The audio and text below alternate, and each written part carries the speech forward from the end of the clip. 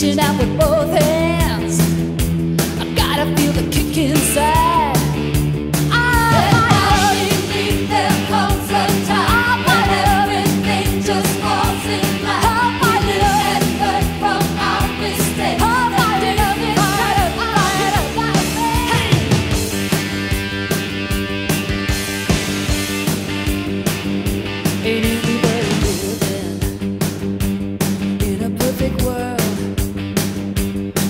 everybody's salvation.